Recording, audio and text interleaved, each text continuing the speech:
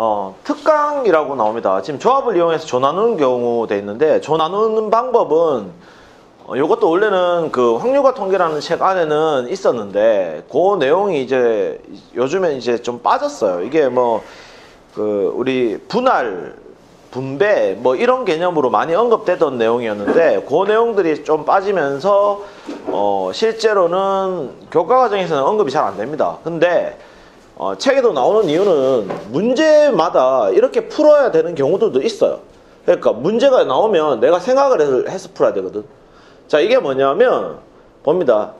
그냥 이거야. 조를 나눈다는 말은 잘 생각해봐. 우리 반에 아홉 명이 있어요.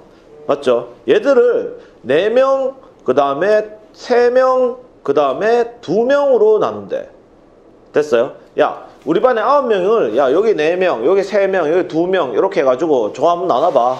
라고 얘기하면 니들끼리 조를 나누잖아. 내가 조 나누라 지조 이름 붙여주진 않았잖아. 맞지? 그럼 조를 나눴다는 말은 너가 어떻게 해? 어, 아홉 명 중에서 1명, 4명 뽑고요. 9시 4. 곱하기, 이제 몇 명 남았죠? 다섯 명 남았죠? 다섯 명 중에서 뭐 하면 되고, 3명 뽑아서 5시 3. 곱하기 두 명 중에서 두 명을 또 뽑아요. 이렇게 하면 끝나버려요, 실제로. 맞지? 근데 문제가 어떤 경우냐면, 이런 경우죠. 야, 3명, 3명, 3명 나눠봐. 이렇게 돼버리면요. 잘 봐. 잘 생각해봐. 이렇게 돼 있다 진짜 여기 숫자 1카드 1카드 숫자 1이 적힌 카드 3개가 적혀 있어 내가 여기 있는 거 여기 깔고 그 다음 요거를 여기 깔고 그 다음 중간에 여기 깔았어 그리고 내가 은지한테 딱 보여줬어 그럼 은지가 어? 쌤 요거는 111 오케이 맞지? 그 다음 내가 요거를 순서를 바꿨어 얘를 여기 깔고 얘를 여기 깔고 얘를 여기 깔았어 이렇게 됐나? 이렇게 해서 또 은지한테 보여줬어 그럼 은지는 왜 똑같은 거 또 보여줘요? 이렇게 얘기할 거 아니야 근데 난 똑같은 거 한 건 아니지 실제로는 왜? 얘들을 내가 모았거든 순서를 바꿔야 했거든 근데 이게 모양이 똑같다 보니까 받아들인 입장에서는 뭐야? 똑같이 보이는 거지 내 말 무슨 말인지 이해됩니까? 다시 바둑알 생각하면 돼 바둑알 그 이게 왜 문제가 되냐면 같은 것 이라는 내용이 생겨버려서 원래 교육과정에서는 그건 안 들어가는 내용으로 돼 있는데 바둑알도 마찬가지야 바둑알 흰색 다섯 개가 있어요. 흰색 다섯 개 중에서 세 개를 뽑아가지고 이렇게 놔뒀어. 맞지? 됐나? 근데 은지가 봤을 때 어 흰색 다 세 개. 오케이. 봤지? 그번에 다섯 개 중에 요렇게 세 개 뽑아 이렇게 딱 놔뒀어. 그럼 은지가 봐도 보기에는 뭐야? 똑같잖아. 맞지? 실제로는 내가 순서를 고려해줬지만 얘는 순서라고 생각하지 않는 경우도 있다는 거지. 자, 무슨 말이냐? 이런 거야. 그래서 어렵지 않아. 그냥 조금만 개념 잡히거나 아니면 헷갈리면 내 말하는 대로 외워버려도 돼. 자, 아까 얘기했던 대로 4명, 3명, 2명은 4명, 3명, 2명. 야, 여기 4명 쭉 서 있고 여기 3명 서 있고 여기 2명이 서 있어. 그러면 얘들 둘이 위치가 이렇게 바뀌어 있어. 그럼 3명 서 있고 4명 서 있고 둘이 있어도 니들이 눈이 따라가잖아. 4명짜리 있는 시선이 있었으면 이렇게가 따라가잖아. 이렇게. 맞지? 구분을 할 수 있다는 거잖아. 근데 내가 이렇게 해버린다고. 자, 야, 우리 반에 9명 있는데 아홉 명 있는데 이쪽에 다섯 명 뽑고 이쪽에 두 명 뽑고 이쪽에 두 명 뽑아 됐나? 이해됩니까? 이렇게 뽑아놨어 그러면 내가 나갔다가 딱 들어오면 다섯 명, 두 명, 두 명 서 있었지 맞지? 근데 내가 잠깐 한눈 판 사이 얘들 들이 이렇게 싹 바꿨어 딱 보면 내가 어? 너가 왜조 바꿨어? 이렇게 얘기하나? 얘기 안 하지 어차피 두 명 두 명인데 같은 조 애들끼리 이렇게 움직여버리면 내 입장에서 똑같은 개념이거든 맞지? 그래서 얘들 둘이 순서에 내가 영향을 받는다 안 받는다? 안 받는다는 거야.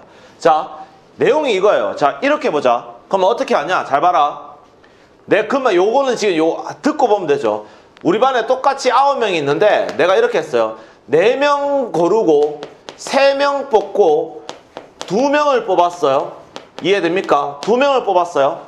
됐나? 이렇게 돼버리면 어떻게 한다? 자, 쌤에는요. 아홉 명 중에 네 명 뽑고요. 다섯 명 중에 세 명 뽑고요. 두 명 중에 두 명을 뽑았어요가 끝이야. 근데 쌤 요거 말고요. 우리 반에 다섯 명이 뽑히고 그 다음 두 명을 뽑고 또 두 명을 뽑아서 조로 만들었어요. 그러면 아홉 명 중에 다섯 명을 뽑고 곱하기 네 명 중에 두 명을 뽑고 두 명 중에 두 명을 뽑았는데 실질적으로 얘들 둘이 위치 바뀌는 거는 생길 수가 있잖아. 근데 나는 그걸 고려한다 안 한다? 안 한다. 그래서 요놈에 대한 순서를 고려하지 않기 위해서 요 두 덩어리야 지금. 요 두 덩어리를 나누는 거죠. 순서를. 얘들 둘이 순서가 뭐야? 2팩토리얼이잖아. 나눠준 거야. 만약에 쌤 3명 3명 3명으로 나누고 싶어요. 3명 3명 3명으로 나누고 싶어요. 이렇게 하면 어떻게 돼요? 9C3 3C3 아니지 6C3 3C3 이렇게 나오겠죠? 맞나? 9명 중에 3명 뽑으면 6명 남았고 또 3명 뽑았고 3명 남았고 3명 중에 3명을 뽑았어. 그러면 3, 3, 3 모양이 똑같지 모양이 똑같은 거야. 3이라서 3이 아니고 3팩으로 나누는 게 아니고 똑같은 모양이 몇 개 있으니까 3개 있으니까 3팩으로 나눠줘야 된다고 이해됩니까? 그럼 다시 봐봐 내가 이렇게 한다 하나 더 우리 반에 9명이 있는데 이렇게 하는 거야 하나는 3명 뽑고요 하나는 2명 뽑고요 또 한 자는 2명 뽑고요 또 한 자는 2명 뽑아요 됐나? 이렇게 했어 이렇게 해버리면 어떻게 한다 참, 9명 중에 3명 뽑고요. 6명 남은 중에 2명 뽑고요. 4명 남은 중에 2명 뽑고요. 2명 남은 거에 2명 뽑았어요. 됐나? 근데 똑같은 게 몇 개 보여? 3개 보이지? 똑같은 게. 그러니까 이걸로 보면 요걸로 보면 3개, 3개가 똑같은 덩어리잖아. 맞지? 그래서 얘는 또 뭘로 나눠준다? 3팩으로 나눠준다. 숫자 보고 나누는 게 아니고 개수 보고 나눠준다 이거예요. 그 내용을 적어준 거예요. 지금. 이해됩니까? 그 내용을 적어준 거고 그때 다시 이거를 지금 말하는 경우는 뭐냐 하면 이거야. 야 그냥 요거는 4명, 3명, 2명으로 짝지어서 좀 이따가 5분 뒤에 올 테니까 알아서 나눠서 서 있어. 이게 끝이야. 됐나? 근데 이 경우 말고 5번에 다른 거야. 자, 야 좀 이따가 요 줄에는 요 줄에 서는 사람이 1조라고 부르고 요 줄에 서는 사람 2조라고 부르고 요 줄에 주는 사람은 3조라고 부를게. 그럼 잘 봐. 너가 봐봐. 4명, 3명, 2명 서 있어도 그러면 1조가 4명짜리지. 근데 니들끼리는 조 나눈 다음에 알아서 짝 썼는데 여기에 2명, 3명, 4명 서 있을 수도 있잖아. 그럼 1조가 2명이 돼버리지. 얘는 순서의 영향을 받고 있는 겁니다. 지들끼리 줄 세우는 거예요. 그래서 만약에 야 이거에 각 조의 이름이 있다. 됐나? 그냥 조가 아니고 조의 이름이 있는 거야. A조, B조, C조 이런 식으로. 이름이 호명돼 버렸다. 붙여버렸다 그러면 얘를 줄 세워줘야 돼. 그럼 당연히 얘가 지금 뭐야? 세 덩어리지. 그럼 얼마 해야 돼? 3팩. 얘도 세 덩어리지. 3팩. 얘는 몇 덩어리야? 네 덩어리지. 4팩. 이해됩니까? 그럼 제일 마지막에 얘는 뭐야? 덩어리에 이름이 있는 거야. 덩어리에 이름이 있는 거. 이런 경우가 어떤 것도 있어. 잘 봐. 이런 것도 있어요. 쌤, 우리가 내가 편지를 똑같은 봉투에 똑같은 내용으로 편지를 10개를 딱 적어놨어요. 됐나? 됐나? 왜? 구분 없게 하려고? 대충 이렇게 끊어놨어. 그래서 4개, 3개, 뭐, 아니, 9개 있다. 4개, 3개, 2개로 끊어놨어요. 이 편지 봉투 넣으려고 우체통에 딱 갔는데 우체통이 딱 3개가 있네. 근데 전부 다 뭐야? 다 빨간색이고 크기도 모양 다 똑같아. 그럼 내가 이걸 여기 집어넣나? 이걸 여기 집어넣고 이렇게 집어넣나? 어차피 경우가 똑같죠. 하나, 하나 우체통에 하나씩 집어넣는다 치면. 맞지? 근데 이거는 달라져. 4개, 3개, 2개 정해놨는데 우체통으로 왔는데 우체통이 하나는 빨간색이고 하나는 노란색이고 하나는 파란색이야. 이렇게 되면 내가 이걸 파란색에 넣는 경우와 이걸 빨간색에 넣는 경우는 다른 경우가 돼버리거든. 맞지? 그거는 이제 그 덩어리 내가 우체통에 넣는 거라 했지만 요 덩어리가 빨간색, 요 덩어리가 노란색 이렇게 돼버리는 거잖아. 이거 조의 이름이 생긴 거지. 조의 특정 색깔이 부여된 거잖아. 맞지? 이런 경우는 뭐 해줘야 된다? 줄 세워줘야 된다. 약간 내용이 어렵죠? 내용 어려운데 어, 요 내용 조금 많이 나와요. 이거의 대표적인 예가 이거의 대표적인 예가 보세요. 보세요. 얘들 안에서는 줄 세울 이유가 있어 없어? 한 조에 다섯 명 들어갔는데 그 다섯 명 안에서 야 내가 앞에 서니만 이름이 필요 없어. 맞지? 맞지? 그러니까 아 요거의 대표적인 예가 여기는 지금 안 나오는데요. 토너먼트 문제. 아 뒤에 있네요. 자 일단 그러면 특강 특강 1번 문제 풀고 토너먼트 문제는 쌤이 또 풀어줄게요. 특강 1번 한번 봅니다. 자 서로 다른 8조 종류의 꽃이 있어요. 됐나요?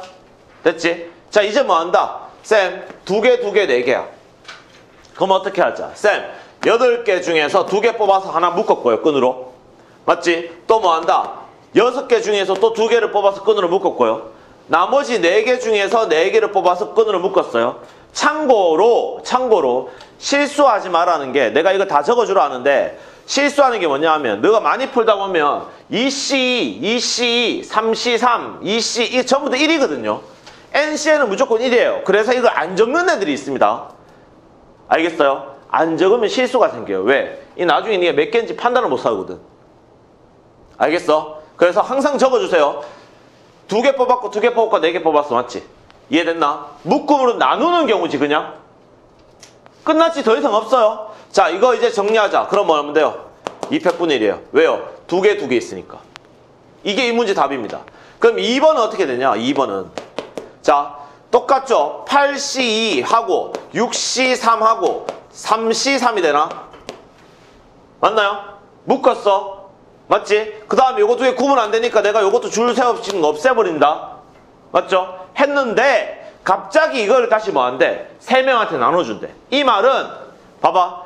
서로 다른 세 명한테 나눠주기 때문에 내가 갖고 있는 이게 첫 번째 묶음을 얘한테 줄 수도 있고 두 번째 묶음을 얘한테 줄 수도 있잖아. 이건 더 다른 경우잖아. 맞지? 그래서 여기는 이 각각에 대하여 애들 이름이 밑에 적힐 거잖아. 세 명에 대한 이걸 누구한테 줄까? 맞지? 그 애들이 줄 세울 수 있는 거잖아, 지금. 이걸 A, B, C한테 줄 수 있고, A, B, C한테 줄 수 있고, B, A, C 줄 수도 있고, C, B, A 줄수 있고, 뭐, 많잖아. 그래서 이 줄 세우는 경우 때문에 다시 뭐 한다? 3패. 그게 요 마지막에 나오는 네오 내용이 요거죠, 지금. 우리 흔히 얘기하는. 조 이름 붙이는 경우. 됐나? 덩어리에 어떠한 이름이 지정되는 경우. 됐어요? 예, 대표적으로 나누어 주는 경우로 많이 해요. 나누어 주는 경우로. 알겠나? 요렇게 됩니다. 계산은 요렇게 되고 자 302번 한번 보는데 302번은 쌤 PPT를 안 만들었는데 302번은 쌤 여기 그려서 금방 보여줄게요. 302번은 총 8마리죠. 자, 총 8마리입니다.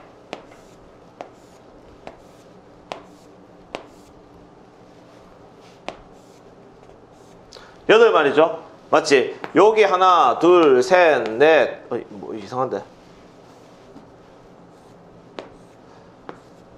있어요.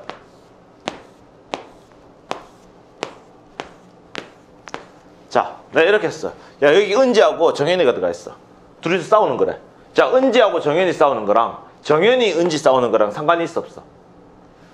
이거 두 개 위치 바꾼다고 문제 되진 않아요. 맞죠? 이해됩니까? 그럼 얘는 조덩어리로 생각하면 되는 거거든요. 어차피 안에서 순서 정할 이유는 없다고 맞지? 자, 토너먼트의 대표적인 이건 지울게요.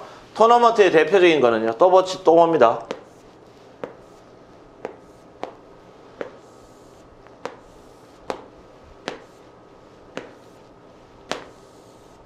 자 이렇게 돼 있어요. 그럼 어떻게 하냐? 이렇게 생각하면 돼. 자 봐. 쌤, 우리가요. 여기 8명이 서 있어요. 요 길이라고 생각해 보자. 우리가 요, 요 조그맣게 여덟 명이 서 있어. 됐나? 야, 너가 앞으로 하나 한 집당, 요 집이라 생각하자. 길 찾아가자. 됐나? 그럼 내가 일단 나눠줘야 돼. 처음에. 여기서 어떻게 한다? 쌤, 여기서요. 네 명, 네 명으로 쪼개줘야 돼요. 그래야 이렇게 가죠. 왜 애들은 여기 있을 때 집이 몇, 어디에 몇 군데 있는지 모르니까 나는 알잖아. 맞지? 내가 이렇게 길 세워준다고.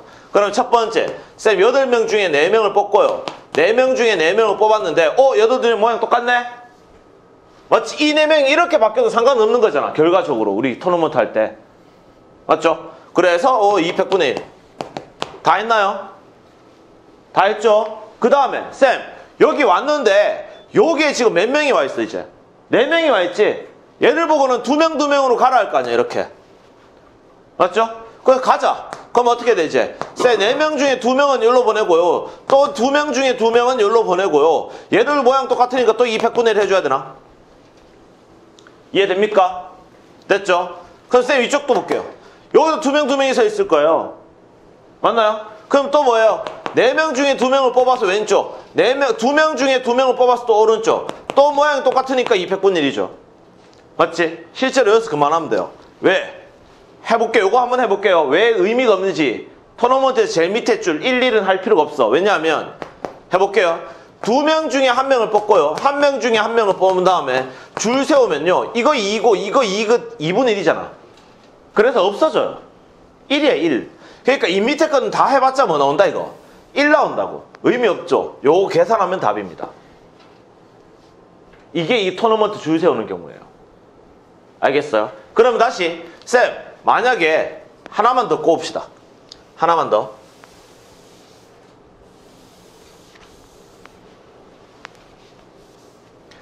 토너먼트 경기 보면요. 토너먼트 경기 보면 가끔씩 이렇게 나와 있는 경우도 있어요. 맞나요? 이거 뭐 어떻게 합니까? 똑같이 하면 돼요.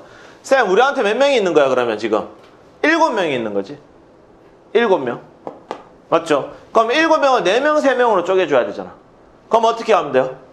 7C4 곱하기 3C3. 얘는 똑같은 게 아니기 때문에 나눌 필요가 없어요.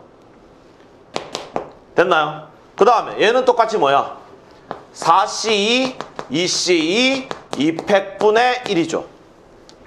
이해됩니까? 얘는요, 2, 1로 가니까 또 뭐 하면 돼요?